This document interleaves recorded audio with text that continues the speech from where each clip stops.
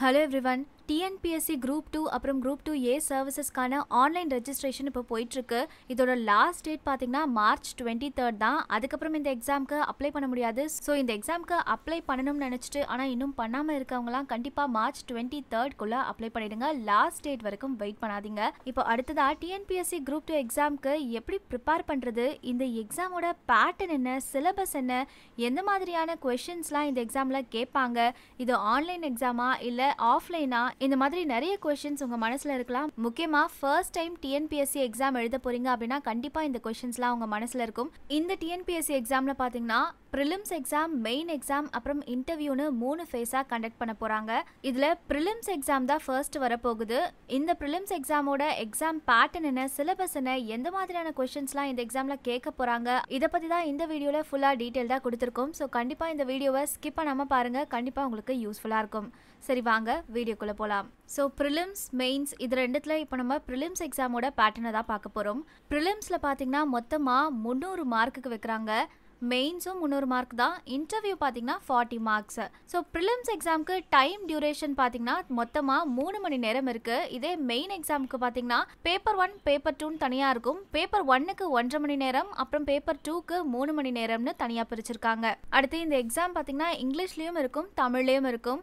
இந்த exam online exam கிடையாது offline exam தான். இப்போ நம்ம ப்ரிலிம்ஸோட பேட்டர்ன் எப்படி இருக்க போகுது அப்படிங்கிறத பார்க்கலாம் ஃபர்ஸ்ட் நீங்க உங்க எக்ஸாம்ல ஜென்ரல் தமிழ் அதாவது பொது தமிழ்னு சூஸ் பண்ணியிருந்தீங்க அப்படின்னா ஜென்ரல் தமிழ்ல இருந்து நூறு கொஸ்டின்ஸ் கேட்பாங்க. அது எஸ்எஸ்எல்சி ஸ்டாண்டர்ட்ல தான் இருக்கும். அதுல இருந்து நூறு கொஸ்டின் அதுக்கப்புறம் ஜென்ரல் ஸ்டடிஸ் பாத்தீங்கன்னா டிகிரி ஸ்டாண்டர்ட்ல இருக்கும். அதுல இருந்து செவன்டி ஃபைவ் கொஸ்டின்ஸ் கேட்பாங்க. அதுக்கப்புறம் லாஸ்டா ஆப்டிடியூட் அண்ட் மென்டல் எபிலிட்டி டெஸ்ட்னு இருக்கும். அதுவும் எஸ்எஸ்எல்சி ஸ்டாண்டர்ட் தான். அதுல இருந்து இருபத்தஞ்சு கொஸ்டின்ஸ் வரும். ஸோ டோட்டலா உங்களுக்கு டூ ஹண்ட்ரட் கொஸ்டின்ஸ் கேட்பாங்க. ஆனா டோட்டல் மார்க் பாத்தீங்கன்னா த்ரீ ஹண்ட்ரட் மார்க்ஸ்க்கு இருக்கும். So two hundred questions three hundred மார்க்ஸ்க்கு கேட்பாங்க.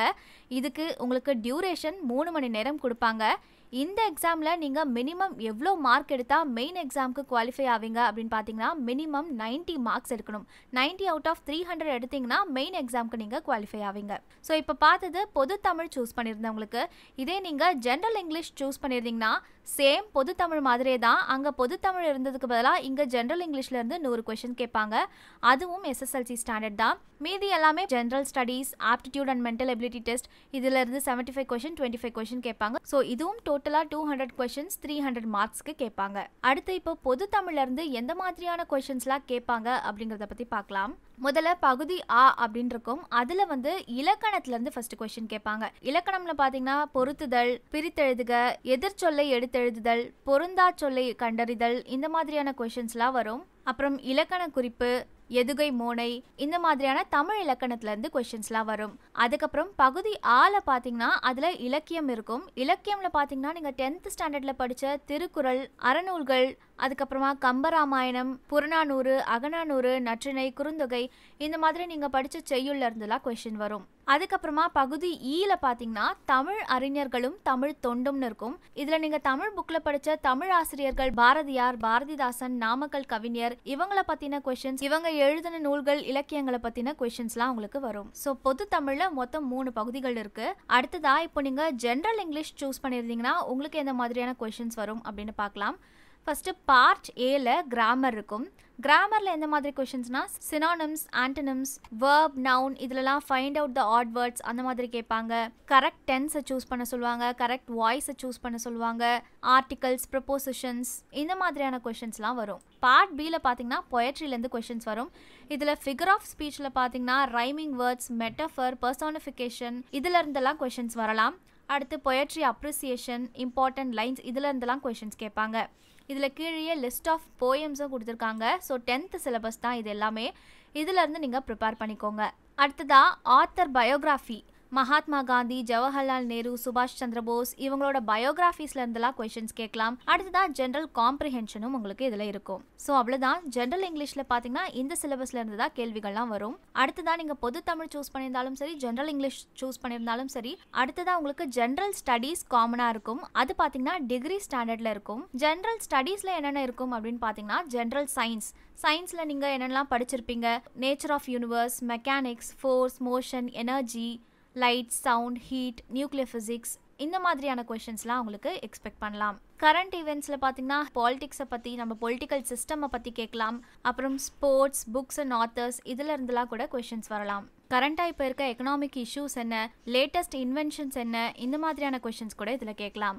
அடுத்ததா ஜாகிரஃபி ஆஃப் இந்தியா நம்ம நாட்டோட மான்சூன் ரெயின்ஃபால் வெதர் கிளைமேட் இதை பற்றின கொஷின்ஸ் அப்புறம் வாட்டர் ரிசோர்சஸ் இந்தியாவில் இருக்க ரிவர்ஸை பற்றி மினரல்ஸை பற்றி சாயிலை பற்றி இந்த மாதிரியான நேச்சுரல் ரிசோர்ஸஸை பற்றின கேள்விகள்லாம் வரலாம். அடுத்ததா history and culture of India இந்தியாவை பற்றின ஹிஸ்ட்ரி இண்டஸ் வேலி சிவிலைசேஷன்லேருந்து அடுத்ததா டெல்லி சுல்தான்ஸ் முகல்ஸ் மராத்தாஸ் இவங்க எல்லாம் இருந்தாங்க இல்லையா? இந்த மாதிரியான ஹிஸ்ட்ரி ஹிஸ்ட்ரியை பற்றி கேள்விகள் அப்புறம் நம்மளோட இந்தியன் கல்ச்சரை பற்றி லாங்குவேஜை பற்றி இந்த கேள்விகள்லாம் கூட வரலாம். அடுத்ததா இந்தியன் பாலிட்டி இந்தியன் பாலிட்டியில் நம்ம கான்ஸ்டிடியூஷன் ஆஃப் இந்தியாவை பற்றின கேள்விகள் யூனியன் ஸ்டேட் டெரிட்டரி பற்றி அப்புறம் நம்மளோட ஃபண்டமெண்டல் ரைட்ஸ் ஃபண்டமெண்டல் டியூட்டிஸ் நீங்கள் சிவிக்ஸில் படிச்சிருப்பீங்க சோஷியல் சயின்ஸில் அதில் இருக்க கேள்விகள்லாம் வரும். அப்புறம் எலெக்ஷனை பற்றி கரப்ஷனை பற்றி இந்த மாதிரியான கேள்விகள் கூட வரும்.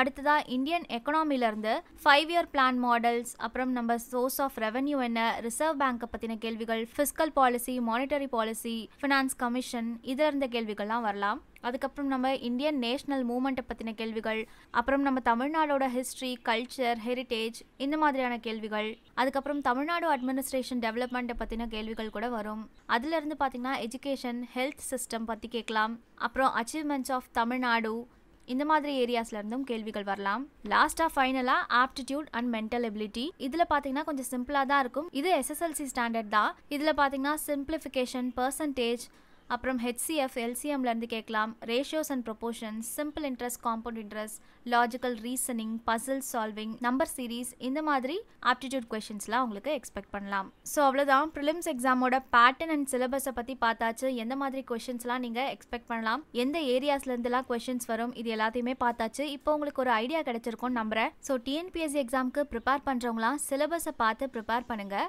டிஎன்பிஎஸ்சி எக்ஸாம் எழுத போகிற எல்லாருக்குமே ஆல் த பெஸ்ட் இன்னும் இந்த எக்ஸாமுக்கு ரெஜிஸ்டர் பண்ணலை அப்படின்னா டுவெண்ட்டி தேர்ட்குள்ள ரெஜிஸ்டர் பண்ணிடுங்க. ஓகே இந்த வீடியோ உங்களுக்கு கண்டிப்பாக யூஸ்ஃபுல்லாக இருந்திருக்கும் நம்புறேன். அடுத்த வீடியோவில் இதே மாதிரி வேற ஒரு இன்ஃபர்மேஷனோட சந்திக்கலாம். அதுக்கு முன்னாடி இந்த வீடியோ உங்களுக்கு பிடிச்சிருந்தா லைக் பண்ணுங்க ஷேர் பண்ணுங்க. மறக்காம உங்க கருத்துக்களை கமெண்ட் பாக்ஸில் கமெண்ட் பண்ணிட்டு டெய்லி பை தமிழ் சேனலை சப்ஸ்கிரைப் பண்ணிட்டு பக்கத்தில் இருக்க பெல் பட்டனையும் கிளிக் பண்ணிடுங்க.